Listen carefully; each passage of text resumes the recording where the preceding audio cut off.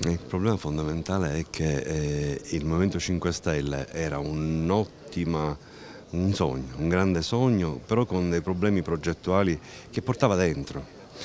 non si può parlare di partecipazione della gente, parlare di uno vale uno, parlare di, ehm, di democrazia diretta se prima di tutto non c'è la democrazia, cioè se tutto il movimento risulta di proprietà di una persona che decide chi fa cosa, quando la fa e perché.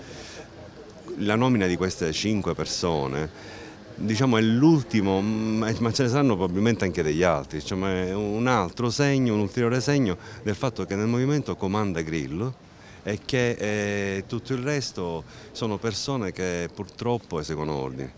Il, eh, il motivo per cui cominciai ad avere problemi al, alla fine dell'anno scorso e poi all'inizio di quest'anno posi con, forza il problema che Grillo non poteva fare tutto eh,